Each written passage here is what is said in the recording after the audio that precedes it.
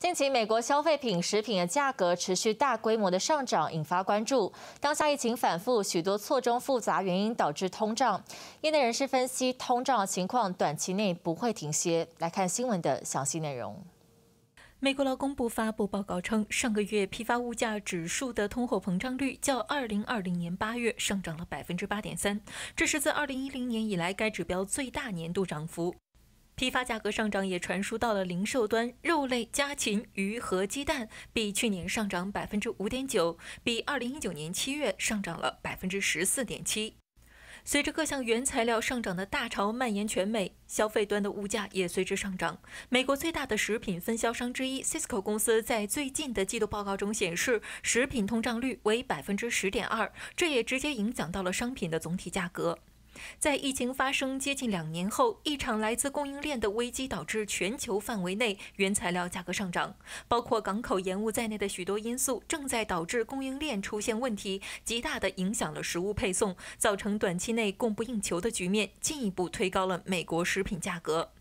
美国针对居民的补贴很多，也进一步刺激了需求。疫情发生以来，美国几轮大规模的财政刺激中，居民补贴都占据了较大比重。最近一期拜登政府1.9万亿美元的刺激计划里，就包括对居民的现金发放。这一系列补贴让美国个人转移支付收入占总收入的比重一度超过百分之三十。美国政府的刺激计划甚至推高了全美居民的收入水平。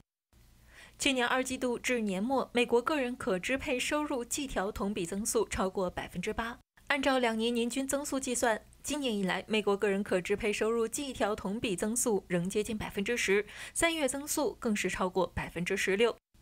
一系列刺激政策让消费者原本因为疫情压抑的需求释放出来。二月份瓦楞纸板价格创下了历史新高，部分原因是电子商务的大流行。食品公司在装箱、罐装和包装产品方面承担了更高的成本，劳动力短缺也成为物价快速上涨的原因。餐馆就餐价格一直在以高于正常水平的速度上涨，工资上升和工人短缺是关键因素。五月，美国失业率虽然已经降至百分之六以下，但劳动参与率仍只有百分之六十一点六，出现了“宁拿补贴不干活”的怪现象。中天中望真理报道。